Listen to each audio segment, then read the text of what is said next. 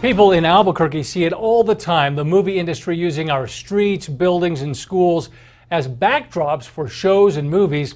Now, everyone living in one small New Mexico town is about to get a taste of fame. News 13's Brittany Bade shows you.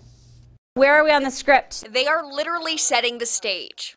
These aspiring actors, I do not understand. Help you in what? Directors, and writers So stutter, shake, and nervousness. Mm-hmm. for their chance to be part of a major motion picture right at their own high school. I freaked out. I was like, oh my gosh, like New Mexico barely gets any recognition like anywhere.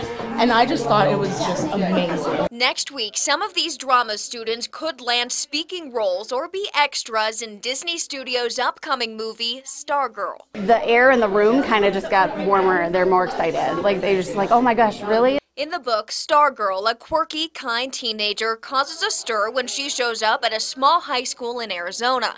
But Disney decided to film at Moriarty High School. The football field will look like a school in the movie. The green and white pintos are temporarily turning into the maroon mud frogs. Now, this isn't just a chance for all of the students to get involved. They need the entire town to come out so they can help fill up these bleachers for some big movie scenes they're shooting here. They're going to need football players, coaches, water boys. The crew needs 500 extras for each day of their five day shoot. Acting's always been a dream of mine. And this small high school, It's not really noticed. full of big dreamers, is ready to audition for the role of a lifetime. It's a good opportunity for us. Brittany Bade, KRQE, News 13. The casting agency tells us they would like their extras to be people of all ages who live in the East Mountains.